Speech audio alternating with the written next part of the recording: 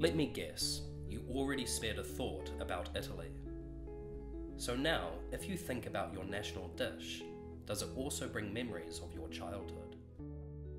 Have you ever wondered why food is strongly connected to our nationalities and consequently to our identities?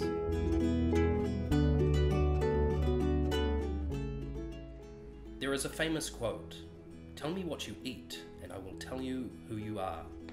Indeed, nowadays, food is less of an element of survival. Food plays a key role in personality development and is an important part of our sense of identity. During our lives, we constantly form our food preferences. When, how, and where we eat define our culture, identity, and lifestyle. These identity and food ways can be well observed in the immigrant's experiences.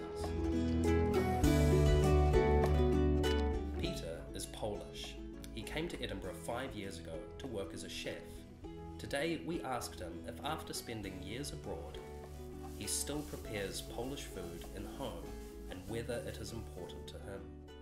Of course, that food from my country is important to me. I still cook my favorite Polish dishes in home. I cook also uh, many different uh, dishes from other countries. It's normal if you work as a chef. Uh, one of my favorites is dumplings because remember remembers me my grandmother uh, used to cook for me. Uh, when I cook something unu- unusual for uh, British taste, I go to the specialist shops.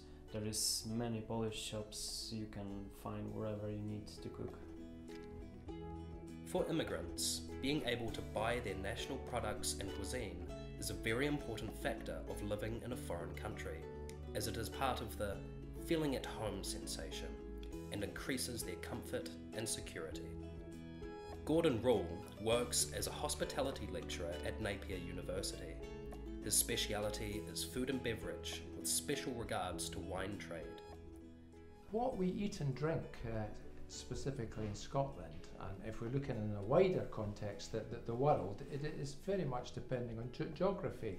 Uh, we eat what we can produce, essentially, uh, and those become our staple diet foods. In Scotland, we have many different varieties of potatoes, and we can fry a potato, we can boil it, we can roast it, uh, etc. And we tend to have a potato with every meal. If you were in Asia or um, uh, India, you, would have rice, for example, and then something else to fill the meal out.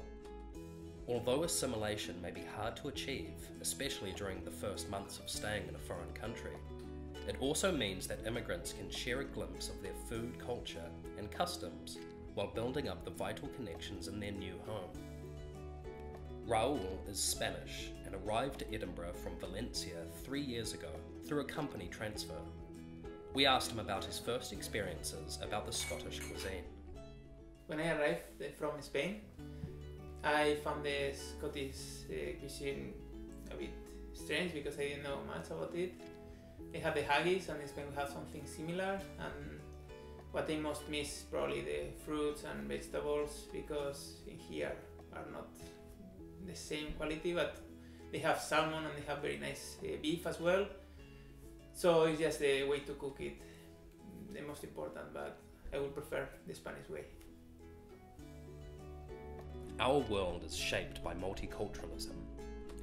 Foreign cuisine broadens people's cultural experiences and intensifies the bond between those from the same ethnic group, giving them a feeling of belonging. That's why we all feel the same bittersweet nostalgia whenever we read the sign in a kitchen Home, sweet home.